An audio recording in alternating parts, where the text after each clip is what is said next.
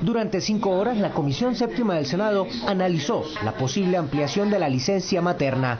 Esta figura solo se podría emplear cuando por salud del bebé la madre tenga que estar a su lado las 24 horas.